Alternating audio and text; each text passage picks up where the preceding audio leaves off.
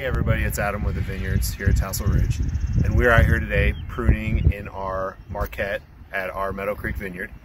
Uh, so what we've done is we've already gone through this with a mechanical pruner and pruned off all the extra stuff um, that we know we don't want. And now we're gonna come through, we're gonna do our final prune or our short prune.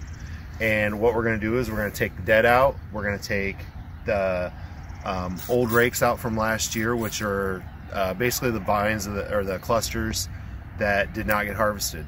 So what we're gonna do is we're just gonna start cutting off our dead and we'll just kind of go through the vine and anything that doesn't have bloom buds on it or uh, is leafing out, we'll go ahead and take that out. So some of it is big stuff, some of it is small stuff.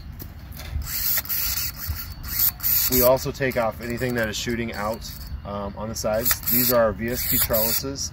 So what we want is we want all of our vines to grow vertical and then later on in the season we'll actually tuck everything underneath the catch wires. Uh, that allows more airflow into the plants, that allows more sunlight into the grapes um, once the grapes start turning. So we're going to cut out our dead and that'll open up quite a bit. We can see what we really got left for um, for buds for this year.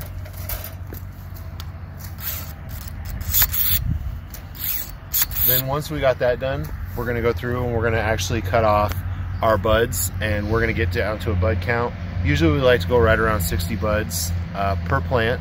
So we do 30 on each arm, which these are the arms right here. Technically they're called cordons. So what we'll do is we'll actually thin them out. Usually we like to have about two fruiting spurs per spur from last year. So we're gonna snip this guy off and that'll leave our two for right there. And then we'll come over here and we'll snip this guy off because he's got a lateral growing out. So we'll cut him off. This guy, he's growing a little weird. He's growing with the wires, so we don't necessarily want that. We want everything to go vertical. So we'll cut him off. This guy here, he's growing out, so we're gonna snip him off. And then right here, we got a whole mess of stuff. So what we're gonna do is we like to have the growth from last year coming off of the main arm.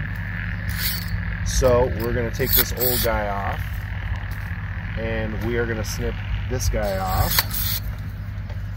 And then we're gonna take this guy down to two. And then once everything is pruned off, all the dead is off and it's thinned out, we'll go through and we'll take off the rakes which are the clusters from last year that didn't get harvested, and take those off. So that is just a quick example of pruning on Marquette vines on our VSP trellis. When we do a high wire, which is what we have a lot of, we actually do it the opposite where everything hangs down instead of growing up. So that's pruning in a nutshell. It was quick.